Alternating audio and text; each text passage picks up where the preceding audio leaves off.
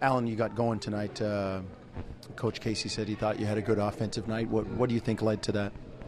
Uh, I think just being ready to shoot, just being aggressive. Coach Casey always tell me just be aggressive on both ends. You know, and I think I was a lot more aggressive tonight. And uh, just being ready to shoot. I mean, we executed our offense. He he, emph- he emphasized on uh, making good screens. I think we set some pretty good screens tonight for each other to get each other open. What's your comfort level like? I mean, you're on your second 10 day. I mean, you're on your second 10 day. What's your comfort level like in the offense and knowing where you're going to get shots and how it works?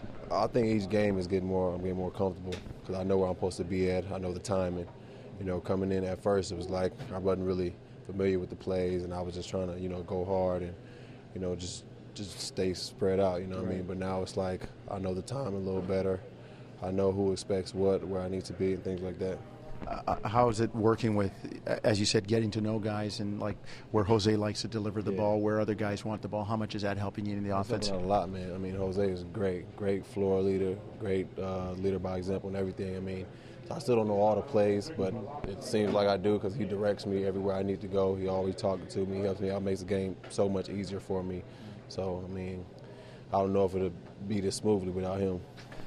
On the defensive end, same thing too. You got to get more comfortable learning the system. Coach Casey prides himself on having a defensive system. How would you assess that part of it? I mean, defense is that's coming from Michigan State and the high school I went to. That's that's what we known for. So I mean, that's that's the easier part for me playing defense. I mean, and the schemes are real different. Is you know what I'm familiar with also. So I mean, it's just help the helper. I mean. Uh, it's team defense, you know what I mean. So it's like everybody should be on a string. If one of the defense, one of your guys go left, you know, you help them out and move to the left with them also. So I think that's that's a lot easier for me than the offensive side. Alan, how much has starting helped you? Like where you can kind of get into it at the start rather than watching from the bench? I think it helped out a lot. I mean, because you come off from warming up, shooting around, so you're familiar with the baskets, and uh, I think you still got that sweat, you know, going and adrenaline still going. So, I mean, I think it just you know makes me a lot more comfortable, you know, coming out there to starting five.